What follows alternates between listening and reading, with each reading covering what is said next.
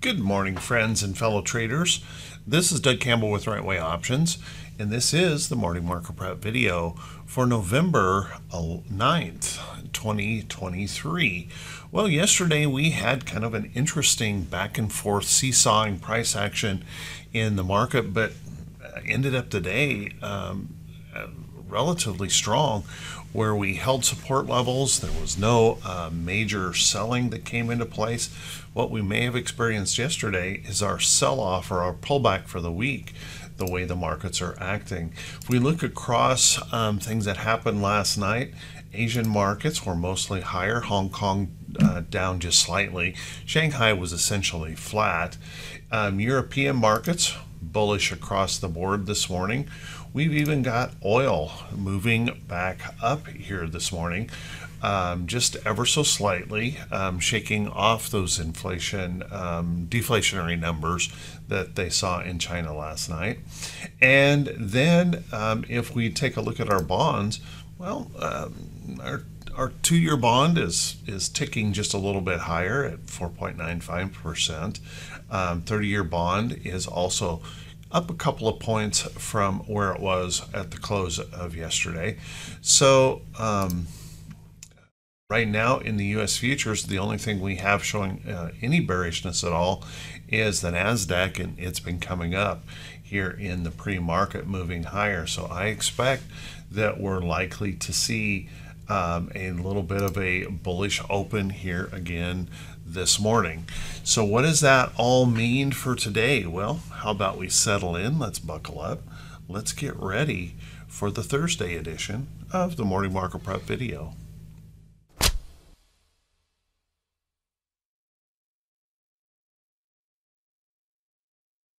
Good morning once again, everyone, and thank you so much for being here. I appreciate it. Let's take a look at these charts and let's try to remove a bias. Let's see if we can figure out how this market might perform today by looking at these charts, how we might want to approach it. Well, if you can look right here, uh, we've got a nice little one, two, three, four day consolidation here in the diamonds. And we're really not making any inroads. The bears aren't making any inroads to push that lower. So we have to give this to the bulls. There's just nothing else you can do here. You've got to give this up.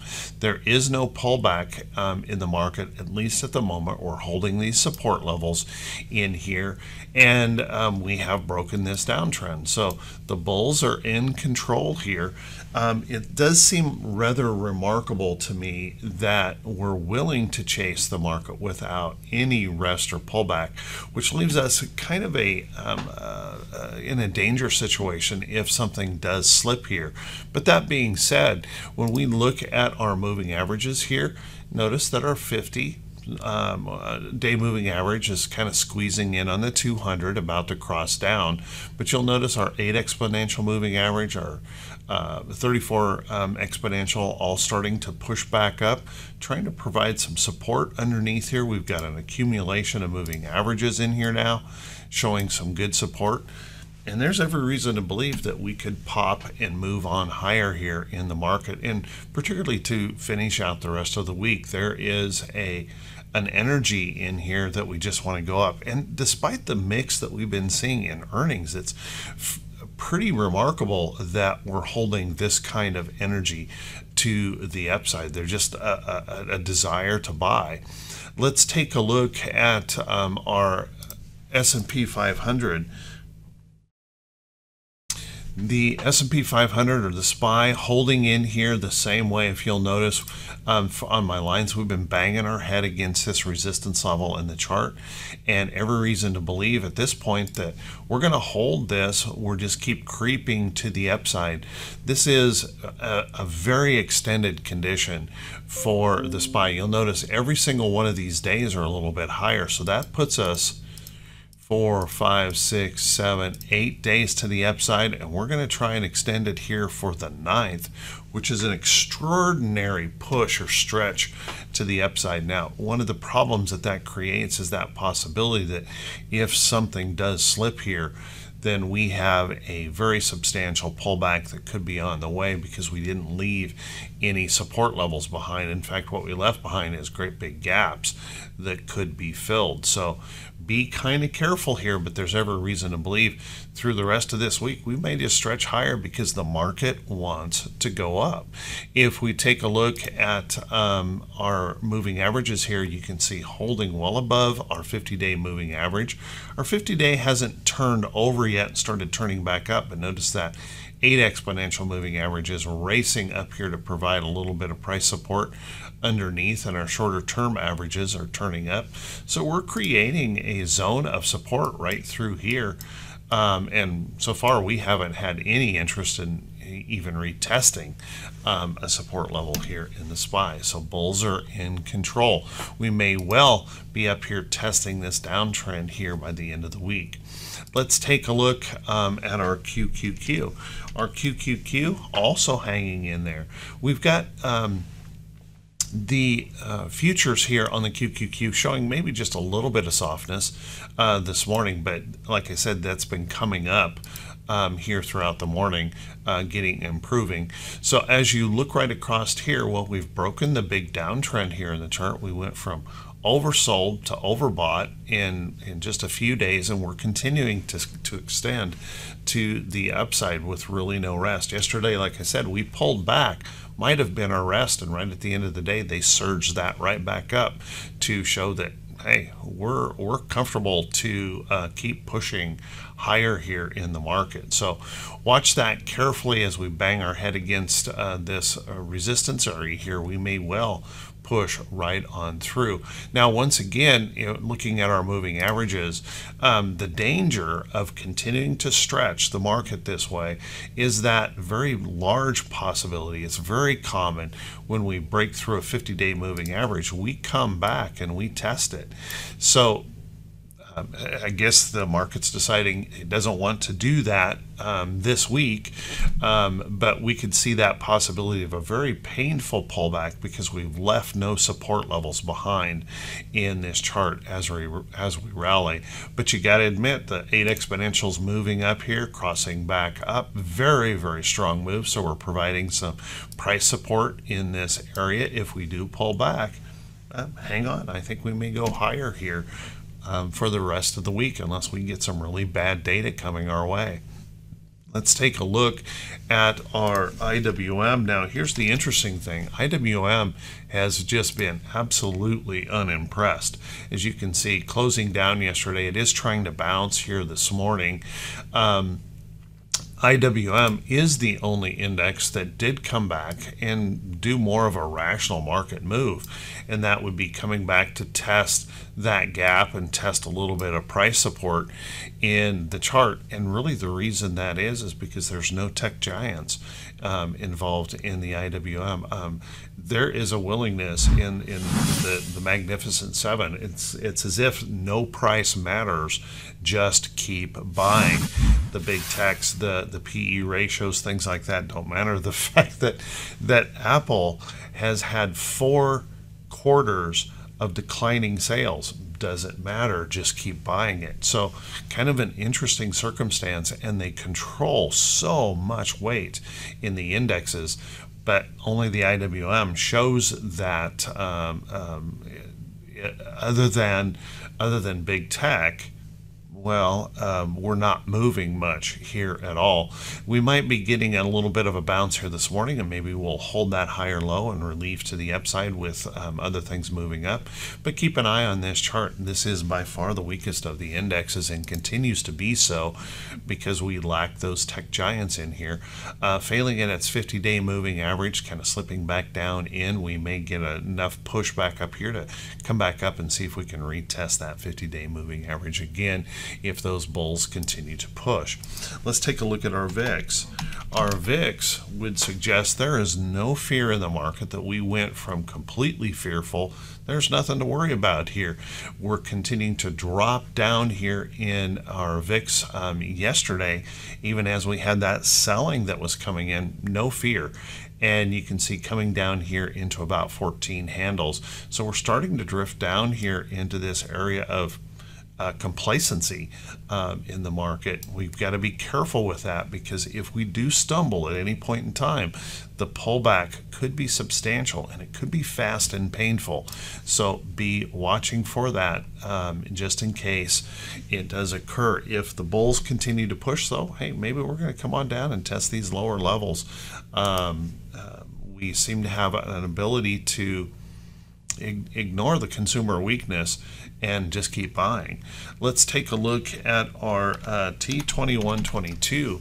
Our T2122 out here, if we take a look at that, well, we push back here below the 50% area here in the chart, but you'll notice we've got this little hockey stick uh, pattern right here, which would suggest that the selling or the pullback in here could have eased just enough that we get um, that ability to pop back higher here uh, today. So watch carefully here. What we do know is if the bulls do find inspiration in the data today, we have plenty of upside move to uh, to go here.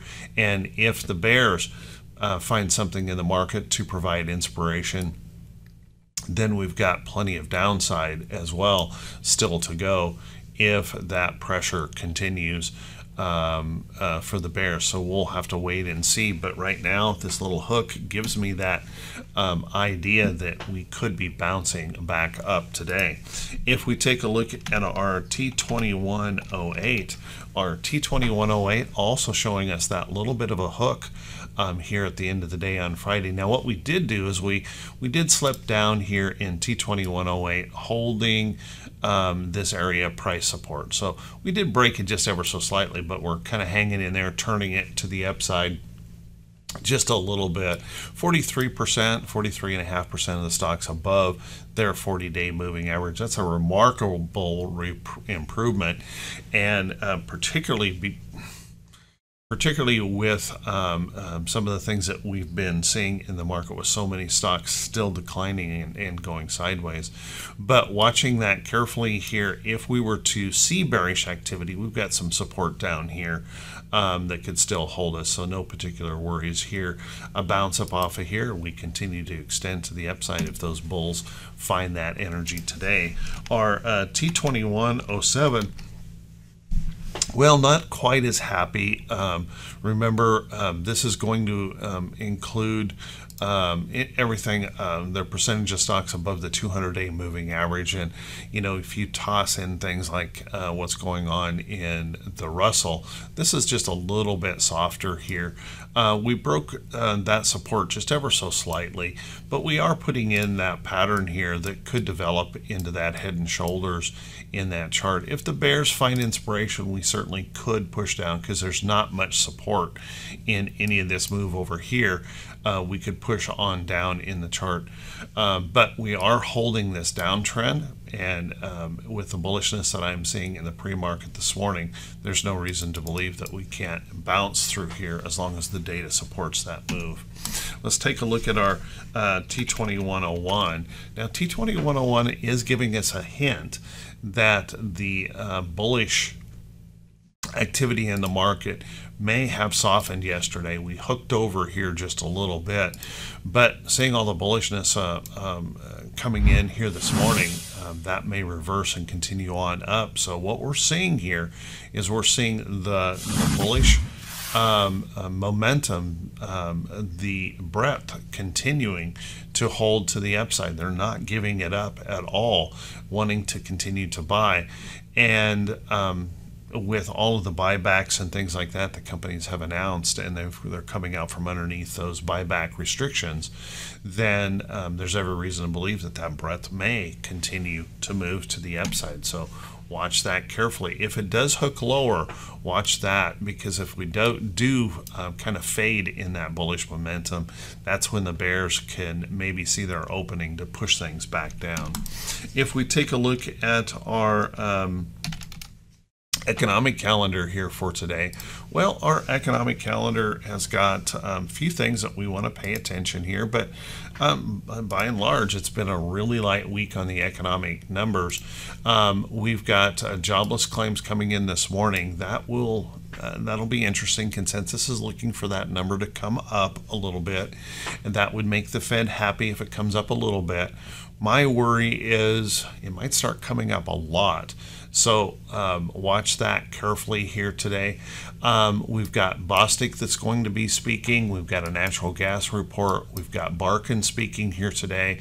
We've got a couple of bond auctions to make note of here, small ones, and then the big one here, the 30 year, to make note of here this afternoon. We've got O'Neill speaking today, and then the bigger speech today from Jerome Powell will be at 2 p.m. Eastern Time. So keep an eye on that. And then we have a Fed balance sheet after the bell, which largely we have been ignoring, so no particular worries there. It's the Powell speech that uh, always um, makes the market uncertain.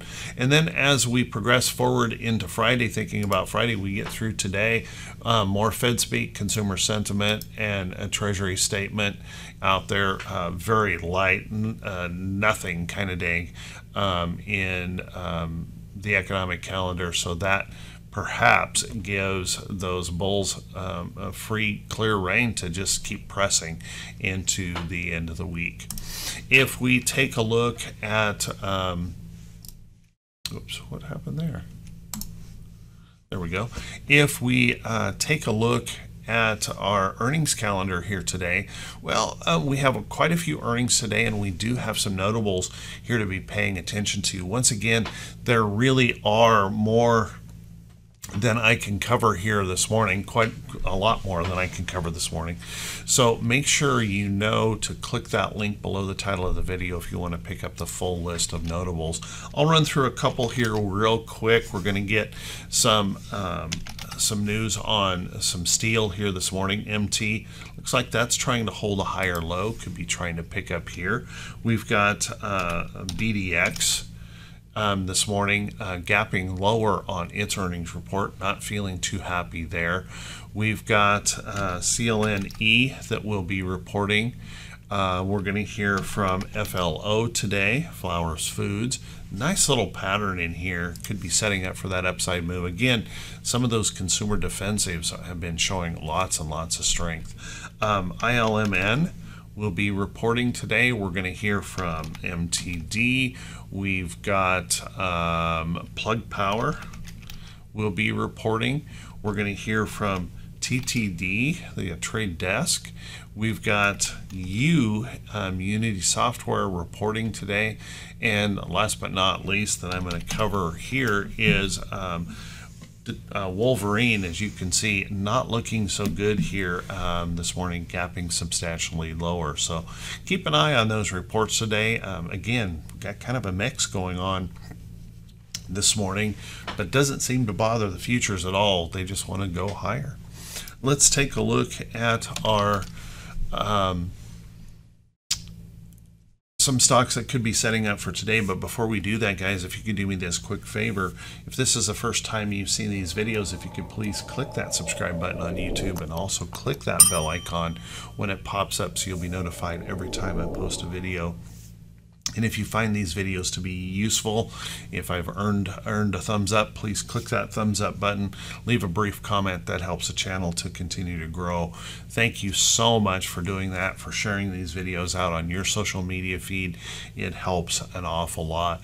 And remember, even an emoji counts um, as um, a reaction to the video. So thank you, everyone. Um, let's take a look at some stock setting up and remember these are not recommendations to buy or sell any security. You've got to do your own due diligence. Be very, very careful in this market and just realize that we are very extended in this price move and that, that a pullback could begin at any time. But right now, the bulls just want to keep pushing and stretching these prices um, on higher. So just be prepared for, for about anything, depending on how that sentiment rolls out in any of this data. Let's take a look at some of these charts and remember they're not recommendations to buy or sell. Remember that you have to do your own due diligence. You have to uh, follow your trading rules. Never ever blindly follow anything I suggest in a trade. Um, it's never a wise thing to do for any of us. Let's take a look out here. Um, if we take a look um, MCD, uh, Mickey D, something I was watching. This was my last alert, and I, am bringing this up more of anything to show that pattern that um, I talk about where we break a downtrend, we rally up, we hold a higher low. This is where a trend begins to the upside. That's the only way a trend can begin to the upside is with the first higher low. And as you can see, following through to the upside, looking very bullish, we're reacting right in this area. Notice we broke through that little tiny bit of resistance right here. And now we're resting this back toward the trend.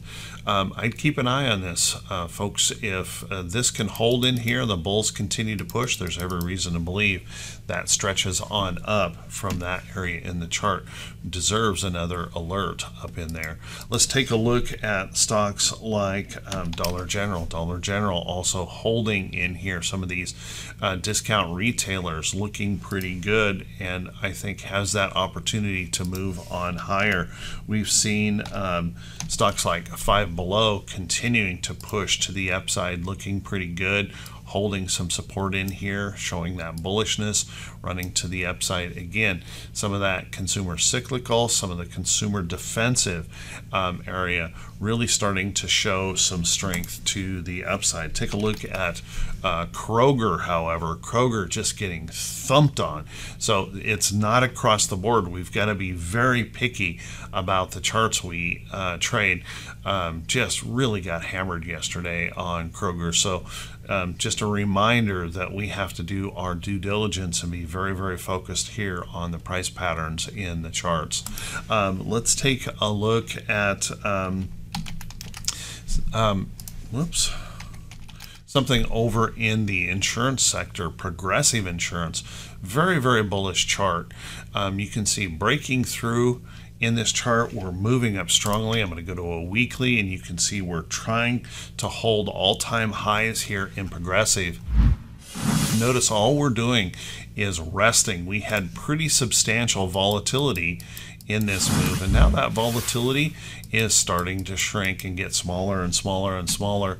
There's no sellers here apparently in the chart. So I would watch that carefully as we move over here toward trend watch for that next opportunity for progressive to move on higher. One of the things that um, you see a lot in the market is 52 week highs um, often make 52 week highs just continue to do that. So progressive looking very, very good. If we look at um, stocks like Aflac also showing lots of bullishness here in this uptrend. Um, this resting pullback from that high could set up that next opportunity to the upside. Watch that close on Aflac. We're seeing a lot of those uh, um, stocks doing pretty well, including Allstate setting up for another upside move as well, pushing up here, holding support. Let's see if those buyers step in and push Allstate on higher. Watch that one closely. Some stocks, uh, more stocks coming up out of the bottom, that consumer cyclical sector. Chewy making that nice move. As you can see, I placed a price alert on this chart. I'm just waiting for that higher low to come into play. We've made that move out of the bottom. Um, waiting for that higher low, wherever that might be, to pop that one on higher. Keep an eye on Chewy. You might want to keep an eye on um, stocks like um, Colgate Palmolive breaking through resistance, breaking through downtrends, working to hold that higher low in here.